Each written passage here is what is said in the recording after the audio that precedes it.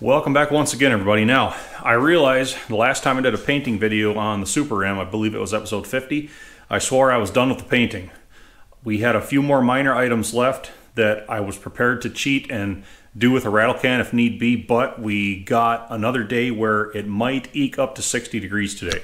And as you can see, for once, I'm at home when the sun is out. Yes, I took the day off of work today just because I had a good weather window to possibly get one last tiny batch in. I went to the parts store and I got another quart of the red paint. Now, you can see Super M's really coming together nicely, but we have a few pieces left over from last time that we were not able to cover, namely these wheel weights are going on my H, and that's what most of these nuts, bolts, and washers are, is to hold those on. But we have a few other little assorted pieces of hardware here.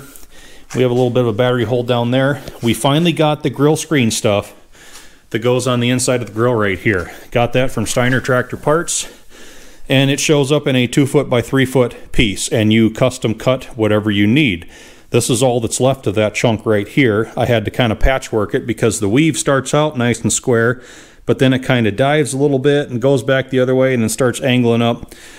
So to get the best possible grids, I just kind of had to piecemeal pieces out wherever they had to, uh, or wherever they best would fit. So you can see I had to do a little bit of preforming we have to cut a little bit of a hole right there down below my hand and we've got that bend feature in the middle that's where basically there's a couple little slats. I think you can see it just inside of the the grill openings right there. There's a couple little slats that there's actually clips that hold these screen pieces to the back side of the grill. So that's why I had to pre-bend that little bit of a feature in there. But three main chunks. This is I don't know if this is left or right but one is left one is right, and then we have that really small square, or rectangle I should say, to go behind the insert that's down there in the bottom.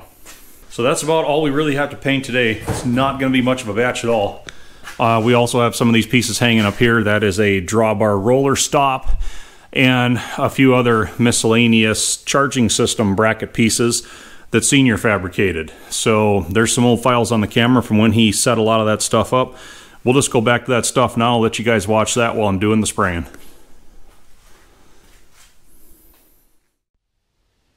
Okay, back on this M uh, project here, I'm just getting finished up is a new alternator mount. Alternator.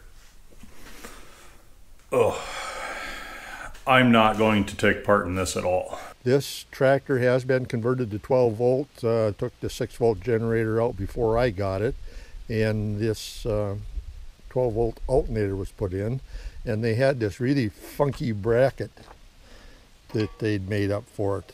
Pretty shabby looking. Maybe in the art world they might call it art but in my world I call it scrap. So what I did kind of took patterns and stuff and I made this new bracket for it right here. As you can see it's all drilled I've pre-fitted on the tractor already. Seems to fit pretty good. I just kind of notched some notches out of them pieces uh, so I can get a good weld all the way around on it. And I also give a little extra in here about the thicknesses of three washers for the final adjustment for the belt alignment. So then I'm also going to put, this is bush downs, generally 7 16 right through here. I'm going to put a 3 8 bolt in with a nylock nut. Uh, that might make Squatch's eyes twitch a little bit, not using a lock washer, a regular nut on there, but this thing already is an original, so that's the route I'm going. He'll have to live with it. I can't make it stop. Here we are back at the tractor. Got the alternator installed with all the new bracketry and stuff. We'll get uh, some of this protective stuff out of the way here. Uh, it's kind of that eye twitch thing. So we got to kind of prevent that from happening as much as possible here. Anyway, uh, what I did is when I originally start installed this the first time, I just took the original bracket, put it in tight to the head, and belt length and stuff wasn't really where I liked it. Um, my alternator positioning wasn't really where I liked it. And what you got is you got minimal distance between the rocker cover and the hood goes right about here. So that doesn't give you a whole awful lot of adjustment there. So what I did originally, is I took two pieces of one inch square tubing, drilled holes, mounted it in there, and brought the bracket out two inches from the head. Now, things didn't line up where I liked real good. One problem I was having was the belt was running into the head of the swivel bolt right there. I didn't want a belt rubbing on that, be wrecking belt, stuff like that. So one of my main concerns was to keep this belt as far away from the head of that bolt as possible. So the next step I did, I just went down and put a one inch piece in here. Uh, still didn't really like the position of the belt or anything. And another thing I was kind of shooting for is from the swivel point down here to the adjuster up here is to keep everything as much as a vertical line as possible. This right now is about as close as I could get. So uh, with the one inch spacer, I wasn't satisfied with that. So then I went and I made three quarter inch spacers. I figured I could uh, just do a uh, quarter inch at a time. I did start out with three of them. It gives me three quarters of an inch. Bolted her up, put her in there, and things turned out exactly I could live with this. It's kind of hard putting alternators on these internationals with your clearance issues between hood and rocker cover. Uh, another thing I did is I made a new slotted adjuster here. As you can see, the one that was in there, another cobbled up piece, kind of welded in that area right in there. Uh, funky bend, stuff like that. So we had to make a new one for there. And we'll get into that in just a second. Okay, on the adjuster bracket, uh, you can see it bolts down here to the thermostat housing stuff. And my first thing I had to do was get my curvature right in here. This piece has already had a pretty good curve in it, but it still need a little bit more to match the contour of the alternator. So the first one I did, I got the contour just about right. I was hitting a little bit back in here when I pushed her all the way back. So what I did is I shortened about three quarters of an inch, re-drilled the hole, put her in there, and I kind of tilted everything back far enough where I've got a lot of clearance in there now. It's surprising what three quarters of an inch will do for you. And instead of the bend, I did a spacer in here. I think that's going to be plenty sufficient. And in my scrap bin, I had this uh, piece right here. The hole was a little bit small. Uh, all I had to do was cut it to length, make it fit a 5 16 bolt, and we're good to go. I think that's going to be, in my opinion, better than the bent up bracket and stuff they had in here. So about all we got left now. Remove this, uh, get stuff cleaned up, get it ready for prep and prep for paint. And uh, from there we can get it installed, uh, get it back on permanently. So I think this thing's going to work out okay. Here's another project just getting finished up with is a battery hold down for this Super M. Uh, last one had nothing inside on the old box. The battery was just in there floating around everything else. So uh, I got a new battery as long as everything else is good. Uh, made this strap here to hold down. Just took some light angle, uh, welded a flat strap across, and I left a little clearance in there. I got some good rubber padding there, some super good 3M uh, adhesive to uh, hold it in. I'll get that on the inside. That'll also help protect a little bit from corrosion and stuff. But if you keep a good battery that doesn't get old, leaky and stuff, uh, your corrosion problems can be kept to a minimum also. So, and I also treat my terminals here. That's where you get a lot of leakage from. And I will uh, get some uh, battery terminal protector on that when I put it together. Uh, for the hold downs, went to the parts store, Got some battery hold down hardware here. And what I did on the inside is I drilled holes in the bottom, two of them, and just my loop will come up in there. And that way I will keep anything away from the battery. If the battery gets close, it'll just be on the side of the rod here. And instead of the wing nuts on there, uh, which just went on the rod, on top of these rubber pads. As you can see, my clearance is really minimal. I had to cut the pads down in there. But I'm going to go with a nylock. I'll just be putting a flat washer on with a nylock on top because with the wing nuts, they kept hitting the side here. And I feel a little more confident on that nylock nut too. So just getting this one finished up, another one to prep for paint, and uh, looks like we might have just a small batch here to do. Well, here we have the battery box and the cover installed on the chassis right now. I have been to the part store and purchased a new ground strap. As you see the back back there, that's part of my uh, bracketry to hold the box down, plus uh, the bolt that holds the box down will utilize for the ground for the battery too. So anyway, got uh, that installed.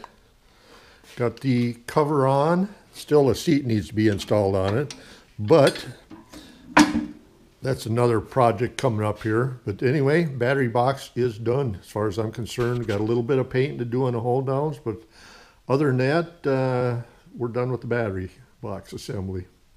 Well, our painted parts pile is really starting to dwindle here, so uh, I'll get busy, get a few more things on. I think next up what I'm going to do is get the starter on.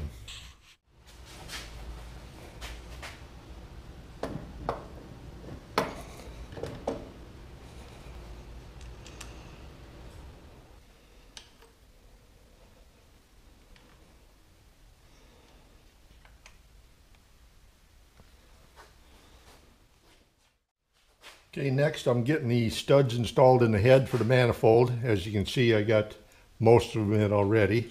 Uh, the way I put them in, I double nut them, get them tightened in. This is an interference fit on the thread, so it does go in fairly hard to last little distance, and that kind of helps retain these in the head uh, when you start uh, to take the nuts off to hold the manifold on. Let's get this one finished up.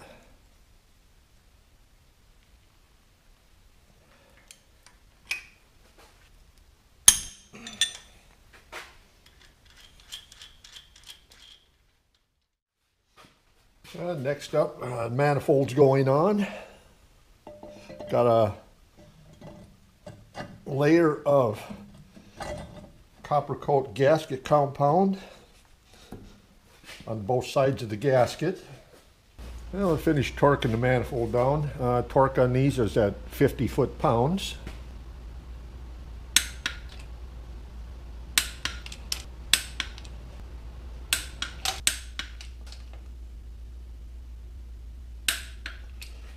Next up, we're going to do the carburetor. Uh, kind of a little tricky operation here. Got the gasket in position.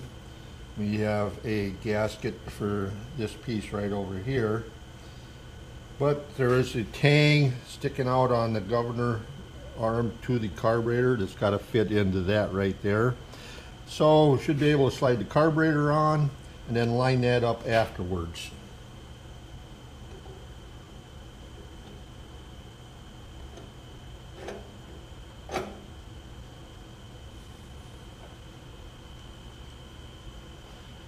Okay, we'll finish getting all the uh, lock washers, bolts, and screws and everything and everything lined up and get this part of it finished up. Okay, carburetor installed. Got all the linkages hooked up in here. Everything seems to be working just fine. Should have no problem there. And I got the choke closed now. Make sure nothing crawls up in there while we're waiting to start this thing. So anyway, manifold, carburetor, set to go. A few more pieces put on, uh, finished up the seat, got that all installed. Everything is working good the way it's supposed to. Brand new shock, brand new pins, everything. And I did add a loop in here for hooking up like a plow rope too. That should work out pretty good for that. And started putting the drawbar assembly back together. We got this much done last night and ready to put the drawbar but a few bolts to uh, clean up and paint yet before we finish putting the drawbar on. So things are coming together here pretty fast now. All right, hope you enjoyed all that. Now the painting went well. It's actually about two days later right now. So first things first, I need to get these wheel weights put on my H. I'm tired of kicking these things around. All of the nuts, bolts, washers, everything was painted as well. Oh, ladybugs. Oh, those things are all over this time of year.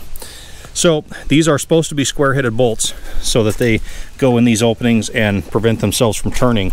I've just been using these grade 5 oh these are three quarter by tens and I actually put them on the lathe and replicated a dot top because I you know that's anyway that's what we're going to use to put those weights on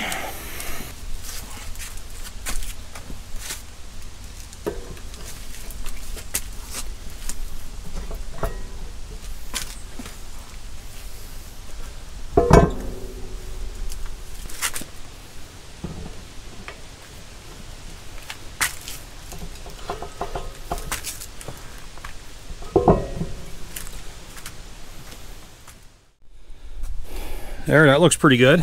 Got the row foundry weights on the old H. She's back to being complete once again. That was kind of a lot of switching and swapping around to make everything fit and everything jive with everything else, but then again, it is a fairly good idea to rotate your wheel weights periodically to ensure even wear.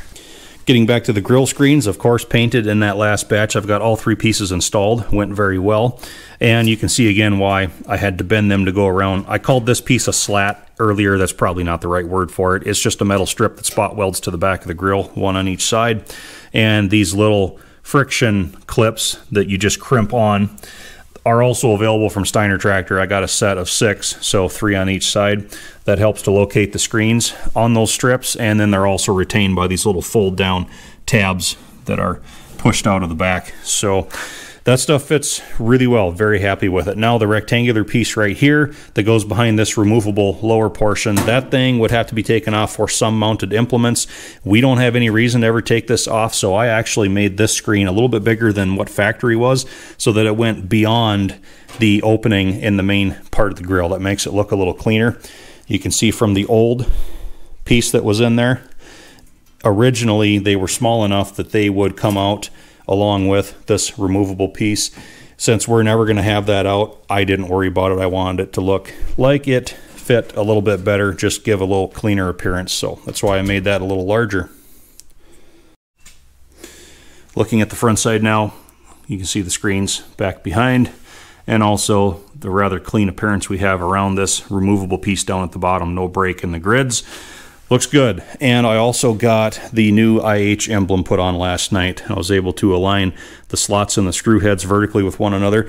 Now, I touched on this before, but it still comes up from time to time in the comments wondering why I abandoned that wider Farmall tag and went with this squarish IH one. That's because this grill was actually off of an older Farmall regular series M tractor. It's not original to the Super M. That's why it still had the wide Farmall tag. When they went to the Super Series, they got rid of the wide Farmall and they went with the square IH emblem. So that's why I did away with the Farmall tag. I plugged both of the holes, made sure all that was smooth and nice, put a nice finish back on there, and drilled new holes and got this Repro IH tag to better reflect what the Super M would have had on it originally. So I think that's going to look pretty good.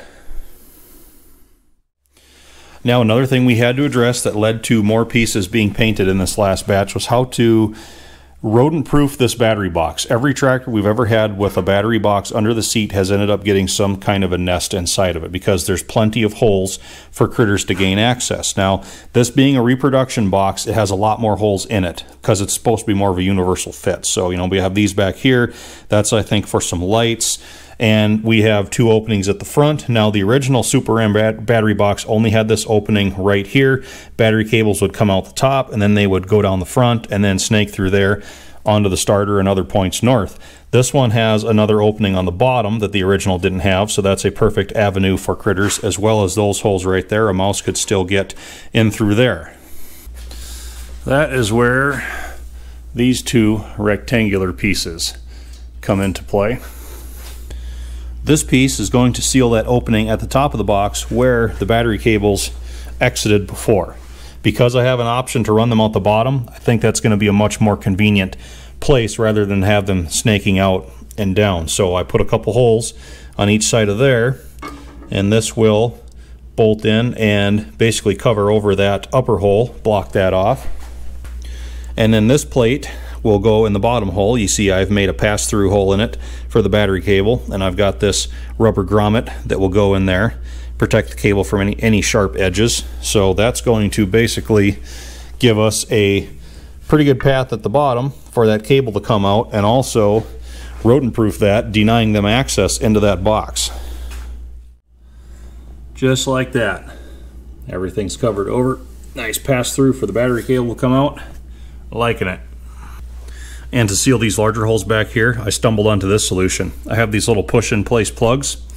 They're for sealing the knockouts on the electrical boxes. And you know what? Blast the CAD coating off, give them some red paint. They fit in here just perfect.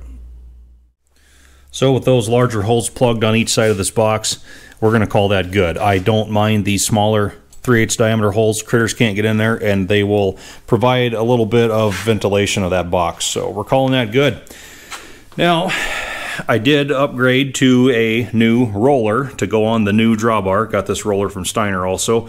The Super M didn't have one of those on there before. And from disking work, like, you know, things like that, that I like to have the drawbar unpinned, it's going to put a lot less wear on the swing plate if we have a roller. So, to keep that stationary, I also pop for a Repro roller stop. Got this from Steiner as well, and I was not as satisfied with this. Kind of a story behind it. I ended up messing it up, but to try and nutshell it for you guys, the spacing of these two pegs were too wide to go into the drawbar holes. It was about a quarter inch too wide. It wouldn't fit, even though they listed it for Super M. So it's getting dark pretty quick in the evenings anymore. I was in a hurry. I decided, you know what? I haven't messed with this side. I said I can cut that weld out of there, get the peg off, I'll shave a little bit of material off the peg and then weld it back on. I'll do that to each side, narrow it up, and it should fit those holes. I was in too much of a hurry, which I've learned this lesson before, and I had to learn it again. I wasn't measuring. I started cutting corners. I was trying to get things welded before it got dark. Well, I took too much off of this peg on this side, and by the time I got it welded on, my spacing was correct. So now my center line is a little bit crooked. And uh, I messed it up. I mean, what can I say? If every pork chop was perfect, we wouldn't have hot dogs, right? So we go back to the hanging rack here. That's where this comes into play. So I decided that instead of re-repairing the one that I messed up because I was in way too big of a hurry, I'd be time ahead just making my own using this as a template. That's what I did. So I already had this three quarter diameter round stock. So chopped a couple pieces of that. That was pretty easy. And you can see the straps here are made out of quarter inch thick by one inch wide steel. I had quarter inch thick by one and a quarter wide steel. If I lay them side by side, you can see mine's a little bit wider, but that's all right. I kind of like it heavier duty anyway. And carefully measured everything out, bent it, welded it together, made sure it fit drilled the hole for the hairpin clip and now we have a piece that fits. It fits any one of these series of holes here so wherever you needed to position that drawbar it's going to hold it in place for you. So yeah, learned another lesson again the hard way but I kind of like uh, I kind of like my version better than the other one anyway so I'll probably re-repair this someday when I have more time, use it on my H, but for now, it's just going in the pile of shame. So that's going to be about it for this video. We have Senior's charging system pieces hanging up there yet. He's going to address that.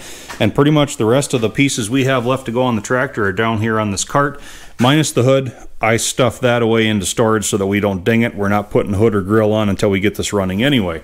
I've had a few questions as to whether or not we have test fired this yet. No, because we don't have any of the ignition system in place yet. And I also need to build a wiring harness to route electrical power to everything that is required for this to run. So no, we have not test fired it because basically the engine's not entirely complete yet. Um, I mean, we've been doing a lot of other things, belt pulleys on.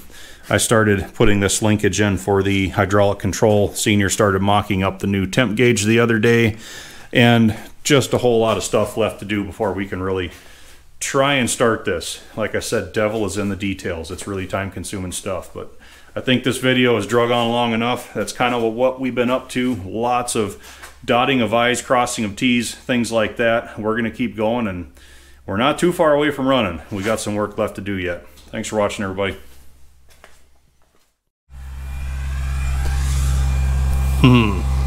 Generator. Generator.